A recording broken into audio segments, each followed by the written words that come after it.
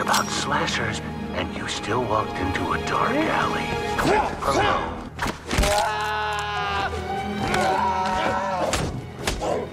Now I see something.